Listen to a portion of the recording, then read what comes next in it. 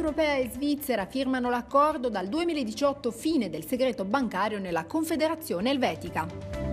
Il piano della Commissione sull'immigrazione è trasferire 40.000 rifugiati da Italia e Grecia in altri paesi UE, ma Bruxelles insiste non chiamate le quote. Dal Parlamento europeo primo via libera al TTIP, ma si accende lo scontro tra maggioranza e opposizione sugli arbitrati investitori-Stato. La Svizzera non sarà più un paradiso fiscale. Dopo anni di serrati negoziati, l'Unione Europea e la Confederazione Elvetica hanno firmato a Bruxelles l'accordo sullo scambio automatico di informazioni in materia fiscale.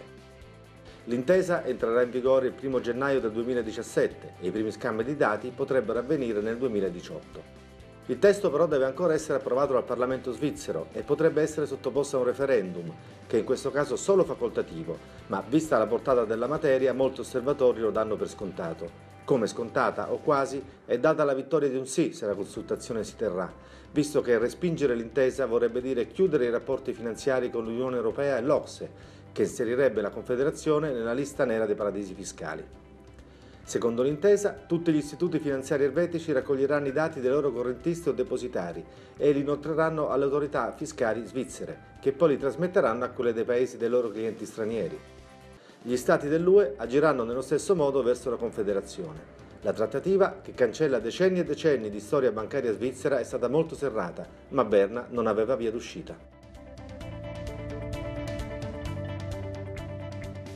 24.000 dall'Italia, 16.000 dalla Grecia. Tanti sono i rifugiati che secondo la Commissione europea dovranno abbandonare nei prossimi due anni i paesi più provati dalla pressione migratoria per essere ripartiti negli altri stati europei. Il meccanismo riguarda solo i richiedenti asilo arrivati dopo il 15 aprile di quest'anno ed esclusivamente eritrei e siriani. Sono queste infatti le due nazionalità a cui più facilmente viene riconosciuto il diritto alla protezione internazionale. I 40.000 andranno ridistribuiti negli altri paesi sulla base della loro popolazione, del PIL e in misura minore di disoccupazione e sforzi già effettuati in tema di immigrazione.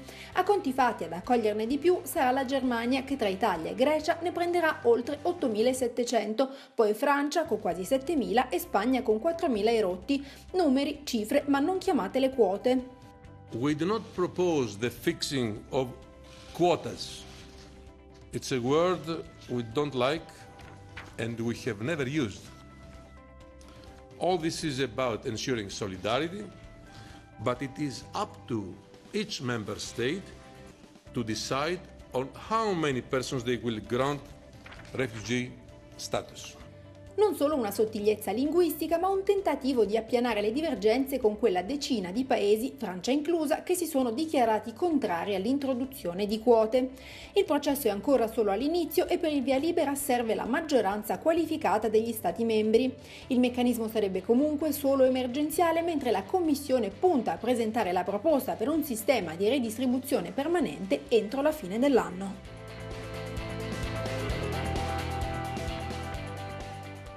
I negoziati sul trattato di libero scambio tra Stati Uniti ed Europa devono andare avanti. A chiederlo il Parlamento europeo, che ha dato il primo via libera alla relazione Lange sul TTIP, che è stata approvata in Commissione Commercio Internazionale.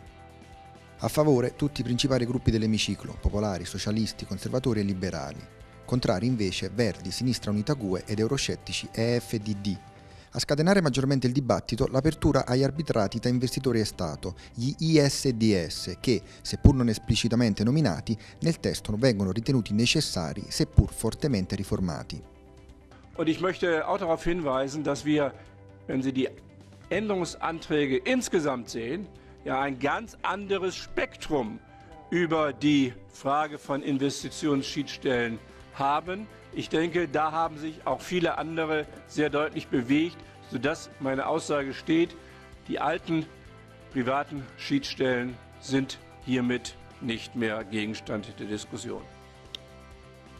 Le opposizioni puntano il dito contro i socialisti, rei, a loro avviso, di aver ceduto alle pressioni dei popolari e di aver cambiato opinione su questo punto centrale delle negoziazioni in corso. Fino ad ora ritenevano inaccettabile l'istituzione di arbitrati privati e ora invece vanno contro gli interessi degli europei che rigettano in maniera massiccia questo meccanismo, ha attaccato il verde Yadot.